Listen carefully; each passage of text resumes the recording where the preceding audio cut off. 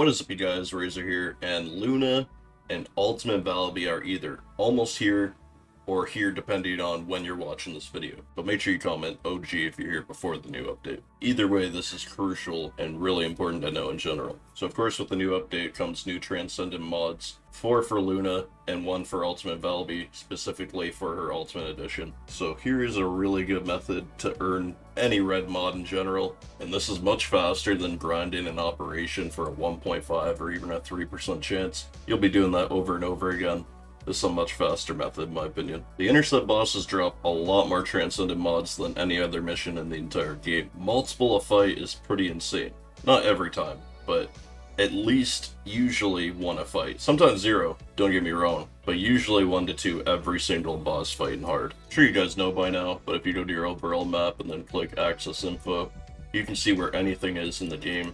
For example, we're talking about the mods. If I were to look for this, I would press the acquisition info button at the bottom left, and it'll show me exactly where it is. It only has one option, one boss fight.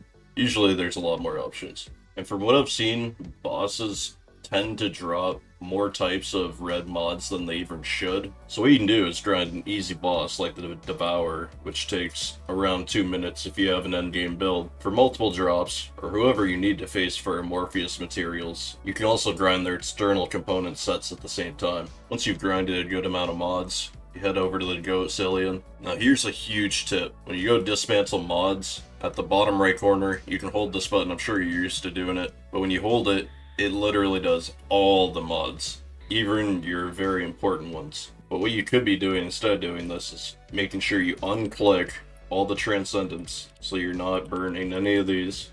Make sure you get them all.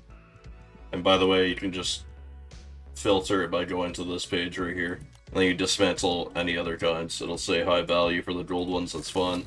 Get rid of them, get the free Kuiper. And at the bottom, this is where you can get a new Transcendent mod. Make sure you set it to quantity so that the duplicates go right beside each other. And disclaimer, you can get the same mod that you already have. It's not going to always give you a new one that you don't have yet. It'll even sometimes give you one that you're currently rolling. I'll use four for the sake of the video though. These are all duplicates. Only 20k, it's not bad. Neurotoxin. So, I got a duplicate, but I have a lot of mods. And there's five new mods coming out, and this is why you want to make sure you do a quick boss, because if you grind out a whole bunch of these, it won't be that bad if you're doing 10 rolls at a time. And this is a good way to collect them all. They're like Pokemon to me, I want to make sure I have all of them. I think I need like 10 of them or so. If you guys are seeing this before the patch, make sure you grind out the Kuiper and Gold big time because leveling up these red mods are super expensive. If you guys enjoyed, be sure to leave a like, and if you didn't, be sure to leave a dislike. Either way, hit that sub bell, set it to all noties so you don't miss another First Descendant video. My First Descendant code is in the bio if you plan on going big on Ultimate Valby, and best of luck on your rerolls. I'm out. Peace.